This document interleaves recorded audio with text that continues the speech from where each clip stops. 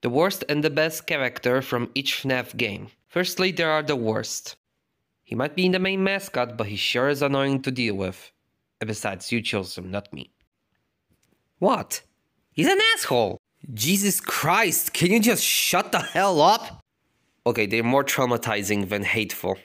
Also, what the mama? If you played the game, you know why these two are together. Jimmy Neutron looking ass. Properly, if not the most laziest reskin of a character ever. I stand corrected. What? They're bastards! The only reason why I hate her is because of a Showtime mission. I swear to fuck, how much more coffee do you need? I am stuck in the game because of these fuck. And now for the best ones. Ahem, Captain, you dropped your hat. You gotta admit that Withered Bonnie's design looks really cool. And terrifying. It's just the fact that there's a mangled corpse inside that thing.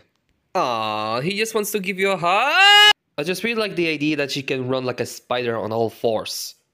Also, Ballora is really hot. Happy Frog! Happy Frog! Happy Frog! Ha Not only one of the best characters from Pretty Bad Game, but also one of the best characters from the best pack. Yes, Glitchtrap is the best. I do believe he's on fire. Words cannot describe how much I love this animatronic. Three in one, basically. You know damn well she's scamming people.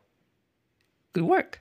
And finally, the one, the only. Nah, just kidding. It's actually the entity. I mean, look at this guy. He's bo- Happy birthday!